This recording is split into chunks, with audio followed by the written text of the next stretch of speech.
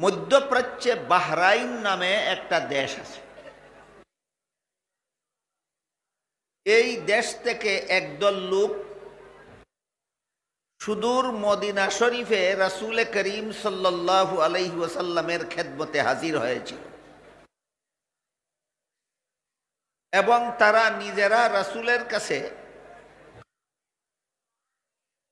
নিজেদের ইচ্ছায় খুশি মনে ইসলাম গ্রহণ করে মুসলমান হয়ে গিয়েছিল। বাহারাইন থেকে মদিনায় গেল রাসুলের কাছে। ইসলাম গ্রহণ করার প্রস্তাব করল, রাসুল তাকে ইসলামে দীক্ষিত করে দিলেন। মুসলমান হওয়ার পরে তারা সবাই বলল আমরা যারা আপনার কাছে এসেছি, আমরা সবাই দীর্ঘদিন যাবৎ জটিল একটা পেটের পীড়ায় ভুগতেছি, যা কোনো চিকিৎসার দ্বারা সফল হয় না। আপনি দয়া করে আমাদের পেটের পীড়া থেকে মুক্তি পাওয়ার কোনো ব্যবস্থা বলে দিন।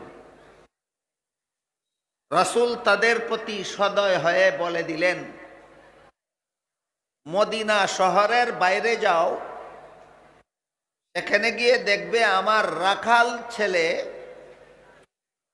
উটের পালের রাখালি করে এবং রাতের বেলায় সেখানেই তাবু খাটিয়ে রাত্রি যাপন করে। তোমরা শহরের বাইরে গিয়ে আমার রাখালের সাথে উটের রাখালি করবা আর তাদের সাথেই রাত্রি যাপন করবা এবং তোমরা নিয়মিত প্রতিদিন উটের দুধ পান করবা। এবং সাথে কিছু উটের পেশাবও পান করবা। এটাই তোমাদের পেটের এই পীড়ার সফল চিকিৎসা হবে।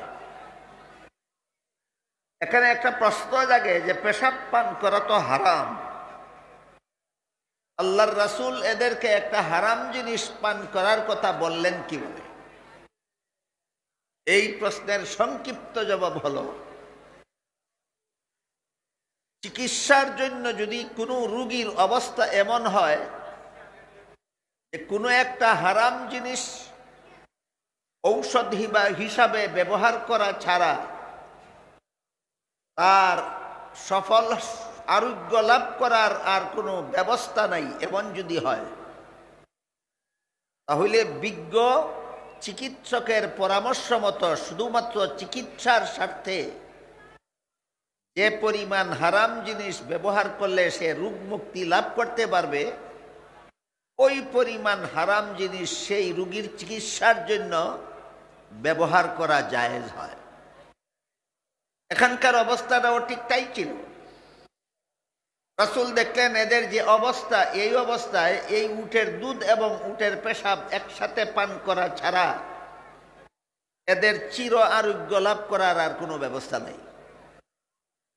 তাই রাসুল তাদেরকে নির্দেশ দিলেন, তোমরা মদিনা শহরের বাইরে যাও, আমার রাখালের সাথে দিন রাত অবস্থান করো, উটের রাখালি করো এবং নিয়মিতভাবে প্রতিদিন উটের দুধ এবং উটের পেশাব পান করো।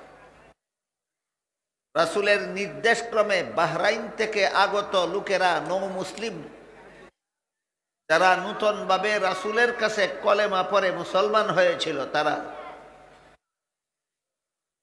রাকালের সাথে তাকে দিনে রাতে মরুভূমিতে উট ছড়ায় এবং প্রতিদিন নিয়মিত উটের দুধ এবং উটের পেশাব পান করে। এভাবে কিছুদিন অবস্থান করার পর রাসুলের কথা মতো তারা স্থায়ীভাবে সুস্থ হয়ে গেল। সুস্থ হওয়ার পর তারা কতগুলি জঘন্যতম অপরাধে লিপ্ত হল? এক নম্বর অপরাধ, তারা যে ইসলাম গ্রহণ করেছিল, সুস্থ হওয়ার পরে ইসলাম ধর্ম ত্যাগ করে তারা আবার মুরতাদ হয়ে গেল।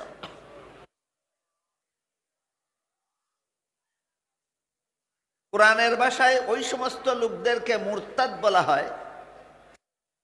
যারা আগে মুসলমান ছিল, কিন্তু পরবর্তীতে ইসলামের অকাট্য বিধানের বিরুদ্ধে বিদ্রোহী হয়ে যায়, তাদেরকে কোরআনের ভাষায় মুরতাদ বলা হয়। আমাদের শতকরা নব্বই জন মুসলমানের সমাজে বর্তমানে অসংখ্য মুরতাদ বিদ্যমান রয়েছে।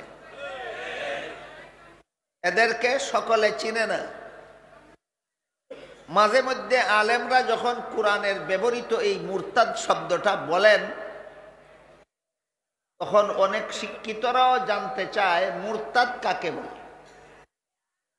এজন্য আমাদের সকলের পরিষ্কারভাবে মনে রাখা দরকার, যেই লোকটা আগে ইসলামের বিধানে বিশ্বাসী ছিল, পরবর্তীতে ইসলামের অকাট্য বিধানের বিরুদ্ধে অবিশ্বাসী হয়ে যায়।